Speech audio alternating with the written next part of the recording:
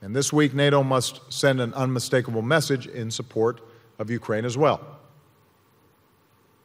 Our alliance has had a partnership with Ukraine for more than 20 years. Ukrainian forces have served with distinction in NATO operations in the Balkans and Afghanistan. So in Wales, we'll meet as an alliance with President Poroshenko to show that our 28 nations are united in support of Ukraine's sovereignty and right to defend its territory. Now, Ukraine needs more than words. NATO needs to make concrete commitments to help Ukraine modernize and strengthen its security forces.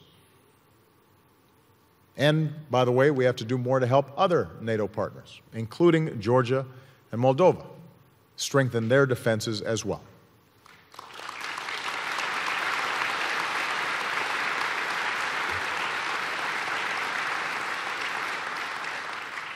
And we must reaffirm the principle that has always guided our alliance.